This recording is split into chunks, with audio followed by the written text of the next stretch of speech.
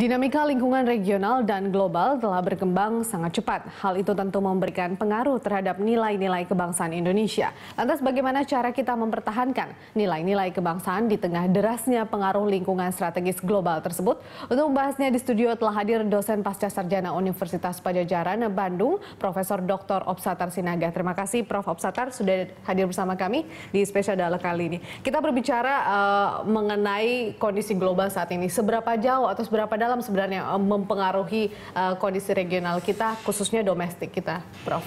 Ya, ada hal yang kontradiktif antara kita ingin menjaga semangat nasionalisme mm -hmm. dengan national interest kita, ya. kepentingan yeah. nasional yang tinggi, dengan pola-pola perkembangan regional dan internasional yang cenderung mengarah pada kerjasama. Okay. Setiap, setiap kerjasama itu artinya dia mereduksi yeah kepentingan nasional. Mm-hmm. Jadi setiap negara yang melakukan tanda tangan kerjasama, mm-hmm. apakah bilateral atau multilateral, yeah. maka sama halnya dia telah mengurangi kepentingan nasionalnya untuk dikorbankan. Mm. Atau kalau dalam garis yang lebih besar lagi, sovereignty dia itu diserahkan kepada kerjasama hmm. itu. Artinya dalam kondisi saat ini begitu Prof, kita tahu pastinya sudah banyak uh, hubungan-hubungan uh, uh, bilateral ataupun juga kerjasama dalam hal perdagangan yang sudah uh, dibina Indonesia dengan beberapa negara. Begitu seberapa dalam sebenarnya intervensi uh, kerjasama perdagangan tersebut kemudian mempengaruhi nilai-nilai kebangsaan negara kita? Dalam konteks kerjasama yang kita lakukan, iya. kecenderungannya yeah. kita berada dalam posisi negara yang developed countries negara yang developed countries biasanya kalau dia melakukan kerjasama dengan negara lain, mm -hmm. kecenderungannya dia tergantung kepada negara itu. Mm. Nah, TENS ini kemudian menunjukkan ciri bahwa Indonesia itu kemudian kepentingan nasional digeret kepada kepentingan yang lebih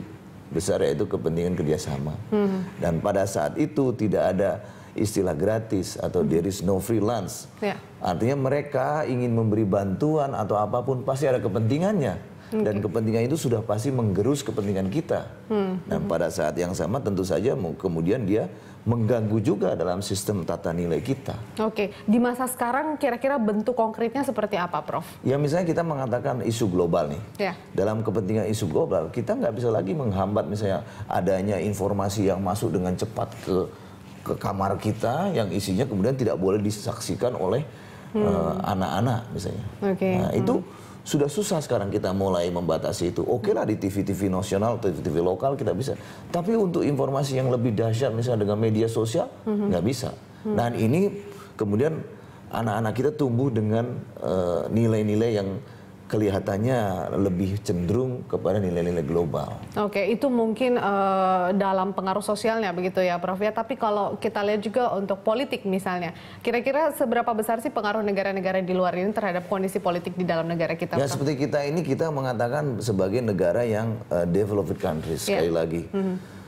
Peter Drucker pernah bilang there is no uh, underdeveloped countries, but there are de, uh, under managed countries. Hmm. Jadi nggak ada tuh negara yang salah uh, apa negara yang miskin tuh nggak ada. Kata. Hmm. Yang ada itu negara salah urus. Hmm. Kemudian informasi itu masuk ke kita. Ketika kita lagi krisis begini, lalu orang bilang ini pemerintah salah urus.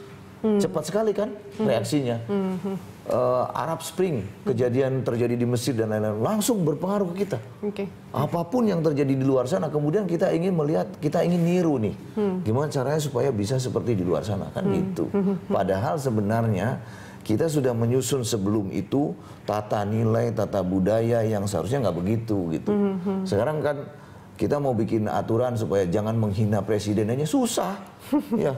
Yeah. Kemudian dibilang kalau gitu katanya nggak boleh dikritik, ah, hmm. tipis sekali hmm. batasan antara uh, ini Jangan mengkritik dan atau mengkritik. menghina. Ya. Sama tipisnya dengan mengatakan ini orang baik atau orang bodoh gitu. Hmm. Susah kan membedakannya. Betul. Ini ini baik katanya enggak ini bodoh gitu. Nah, sama ini ini kritik apa menghina. Nah, yang, kita bahas selalu adalah persoalan perbedaan itu. Padahal sebenarnya kita sudah jauh melangkah meninggalkan tata nilai kita. Selama ini kan kita sudah yakin bahwa kalau kalau kata orang Jawa kenorikat nih orang orang di CI misalnya gitu kan. Mm-hmm. Itu kan kata-kata filosofi yang mengatakan ya boleh aja usul tapi jangan mendahului dong. Yeah. Karena ada orang tua sopan santun harus dijaga. Mm-hmm. Itu sudah tidak ada sekarang. Oke. Okay. Anak muda boleh silakan panggil papanya juga namanya aja. Hey dad, Oke, okay, karena uh, kemudian pengaruh-pengaruh budaya dari luar itu yang yeah. sudah masuk ke dalam negara kita. Nah, mungkinkah sebenarnya Prof bahwa negara-negara maju itu memang menyasar negara-negara berkembang atau under manage yang tadi Prof hmm. bilang itu, kemudian uh, setelah memilih negaranya mungkin salah satunya adalah Indonesia itu dan uh, masuk ke dalam negara tersebut. Artinya mereka memang mencari peluang-peluang itu ke beberapa negara-negara berkembang uh, untuk memanage sesuai keinginan mereka. Mungkinkah kita salah satu sasaran mereka begitu, Prof? Ya kalau kita ini kan negara yang udah jelas sumber daya manusianya masih berkembang, hmm. sumber daya alamnya melimpah, sudah pasti akan jadi target. Hmm. Nah, kenapa kita dijadikan target oleh mereka? Karena hmm. mereka berpikir bagaimana caranya mengambil keuntungan sebesar-besarnya dari kita, yeah. sementara kita masih belum tahu bagaimana cara membatasi cara mereka mengambil keuntungan. Okay. Nah, sekarang kita mau sebentar lagi 31 Desember MEA, ya, Masyarakat, Masyarakat Ekonomi, Ekonomi ASEAN. ASEAN. Betul. Hmm. Bayangkan nanti dokter ahli dari Pakistan, dari Malaysia, dari India yang kemudian praktek di Indonesia yang karena mereka berbahasa Inggris, orang langsung lebih percaya kepada mereka daripada hmm. anak-anak hmm. Indonesia yang lulus kedokteran. Ya. Yang kemudian bisa saja kemampuannya jauh lebih baik nah, begitu ya, mungkin, ya Prof ya. Kan? Mm -hmm. Toh uh, kawan berobat ke Singapura ternyata dokternya dari sini. Okay. Cuma dia datangnya sekali-sekali ke Singapura, hmm. nah kan gitu. Hmm, hmm, hmm. Nah tapi dibayar lebih mahal di sana. Hmm. Nah kita juga nanti bisa begitu. Oke, okay. baik kita akan lanjutkan perbincangan ini di segmen berikutnya. Pemirsa spesial dialog revitalisasi nilai-nilai kebangsaan akan kembali sesaat lagi.